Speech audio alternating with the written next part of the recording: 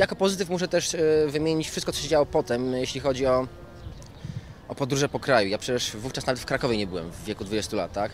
A trafiłem w takie miejsca, o których bym nie pomyślał, że trafię w takie miejsca. Niektórych nazw nawet nie pamiętam w tej chwili, prawda?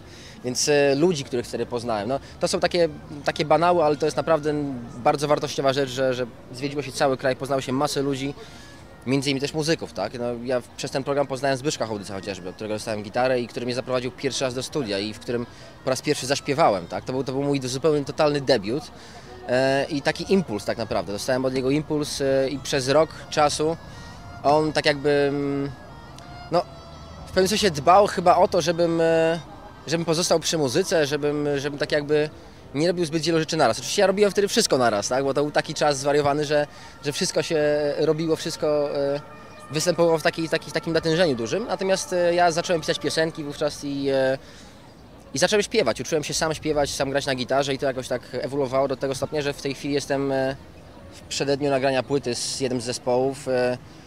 Mm, mam jakiś taki projekt solowy, do którego się już zbieram od bardzo, bardzo dawna. No i tak jakby z, związałem z muzyką swoje życie notabene. Rzuciłem pracę niecały rok temu i teraz idę już tylko w stronę muzyczną.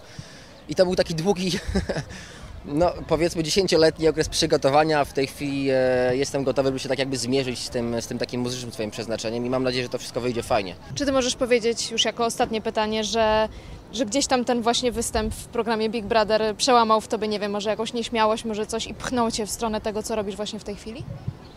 Tak, tak. Mm, Zdecydowanie mogę stwierdzić, że, że ten występ e, w jakiś sposób przyczynił się do tego, że w tej chwili e, śpiewam, e, piszę muzykę, że przełamałem się na pewno, jeśli chodzi o taką nieśmiałość życiową, tak? Jestem, jestem zdecydowanie bardziej otwarty na ludzi i poza tym, że ten program trochę wywrócił moją dotychczasową ścieżkę życiową do góry nogami, tak? I zmienił ją, e, nie mogę o nim złego słowa powiedzieć. Znaczy, jeżeli można było w ogóle stwierdzić, że wywrócenie tej ścieżki było czymś złym, no to było coś, co się akurat wydarzyło, tak? Ja miałem wybór, mogłem albo zostać e, w, przy tym normalnym swoim życiu, albo pójść tą taką ścieżką alternatywną. No i poszedłem tą ścieżką alternatywną i mimo, że początki są, początki, no w tej chwili początki w sensie takim, że jestem tylko w muzyce, e, są dosyć e, trudne, to ja e, oceniam to bardzo, bardzo pozytywnie, cały ten występ.